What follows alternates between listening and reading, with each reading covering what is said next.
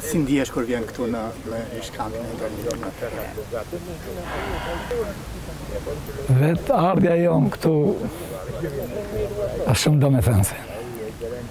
Unë flas për vete, nofta dhe im vëlla që është sot me mu.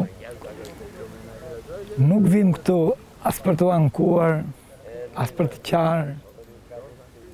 Këtu vim se Është diçka e madhe që na lidh me këtë vend. Është diçka e madhe që lidhet me jetën tonë. Është diçka që e madhe sa lidhet me lidhet me prindërit tanë që nuk arritëm t'i shohim. Pra, ardhja në Tepelenë për ne është një ndjenjë që na, de, na buron nga shpirti Për disa kujtime që janë të hidhura, po ama duhet t'i nënshtrohemi, a duhet ta pranojmë atë postulatin e famshëm që në qoftë se harrojmë të kaluarën, nuk mund të kemi të ardhme. A ardhja jonë këtu ka brenda vetes ndjenjën e kujtesës dhe të mosharresës. Po e gjitha kjo nuk ka lidhje me hakmarrjen, nuk ka lidhje me qaramaninë, ka lidhje për të treguar dinjitetin tonë dhe kjo le t'i shërbejë kujtesës. Seit, cila ishte historia me pak fjalë e familjes tuaj që lidhet me këtë vend? Familja jonë është internuar në janar të 49-ës në Berat.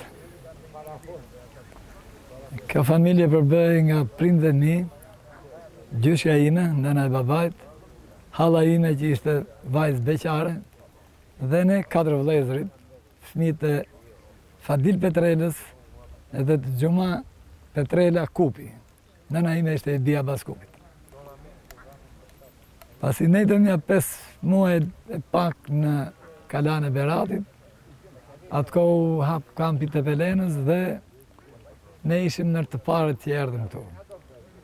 Dhe rrugës me datë 13 Në darkë jemi nisë me autokolonë nga nga Berati për të ardhë këtu. Një autokolonë që ka pas shumë njerëz tonë. Kuptohet, unë kam qenë shumë i mitur dhe një, një vjesh, një vjesh e gjysë, kështu që unë nuk, nuk kam kujtesa të miat. Rrugës duke ardhë nga Berati për Tepelenë nga rruga e vjetër,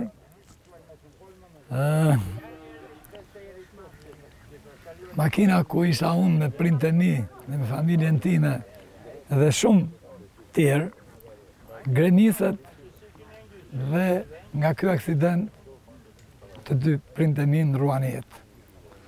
Kjo ka qenë më të gdhirë të datës 14 maj të vitit 49. Kuptohet çfarë gjëme ishte kjo që ndodhi. E rëndë për ata që ikën dhe për këdo tjetër që ishte në gjendje ta gjykojte për ata që ishin mos për ta parë. Nga të dhënat e atyre që kanë jetu me ne atë kohë, dimë që varret e prindëve të mi, siç thotë Vera Dema në shënimet e veta, është hapur me kapak Tenxhereje se as vegla s'kishin për t'i hap. Prindët i lanë aty dhe vetë erdhën në Tepelenë. Sa qëndruat se ishtë? Në Tepelenë qëndruam rreth 20 ditë, 25 a 30 një muaj, qëndruam kaq sepse gjyshja Përfundoi në spitalin e Gjirokastrës se pësoi goditje në shtyllën kurrizore. Halla kaloi depresion psikik dhe nuk e dimë si si përfundoi. Kurse ne ngelëm pa, pa, pa asnjë kujdesje, unë isha një vjeç e gjysmë, vëllai më i madh nëntë. Pra në këtë kamp edhe aq sa mbijetuam, dhe ishte një dhe me një vendim Nuk e di se nga erdhi, ne na hoqën nga kampi. Si ishte jeta juaj më pas? Në përgjithësi le të themi, se e di që po, kalvar vuajtjesh ka qenë. Po,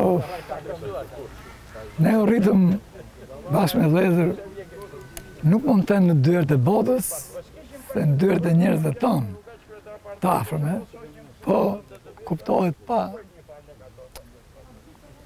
Nuk, nuk mund ta përshkruaj dot, domethënë, nuk, nuk thuhet se do kthehesh një qaraman, do kthehesh dhe e ati edhe ishte.